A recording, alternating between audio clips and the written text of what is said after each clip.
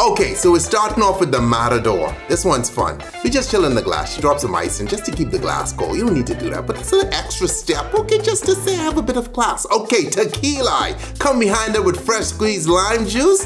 Mm-hmm, delicious. You could stop here. Trust me, you could stop there, but I suggest you keep going, pineapple juice. We shake that, okay? Fine, get rid of our ice.